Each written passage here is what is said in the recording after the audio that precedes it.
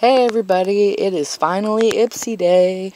Um, my Ipsy took a really long time to get here this month. It's the 25th and it's usually here on like the 13th, so that was kind of annoying, but these things can't always be helped, so here it is, my very first unboxing.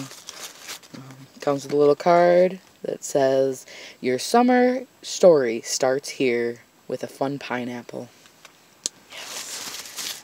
And then they wrapped it in tissue paper this month because the bag is clear. And it's got all these cute little ice creams on it.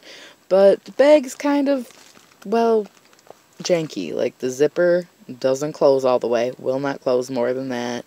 And it just seems crooked and just kind of shabbily put together and smushed. And I'm just not a big fan. But can't win them all, so um, the first item in my bag is this Briogeo Rosarco Milk Reparative Leave-In Conditioning Spray.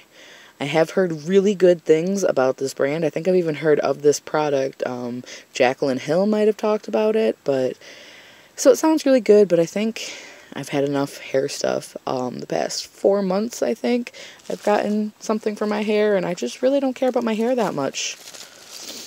Um, the next item is this fancy brush. Well, it's not really fancy, but it is from Royal and Langnickel, the Precision Angled Brush. It's a fat eyeshadow brush. It's kind of cool. I really enjoy the Royal and Langnickel Moda brushes, so I'm sure this will be just as awesome. Um, let's see, the next item is this delightful lipstick from Mellow in the shade Nude It's very pretty nudie pink color. Nice. Very nice. And then we have this I was really excited about because I've never owned anything from Urban Decay.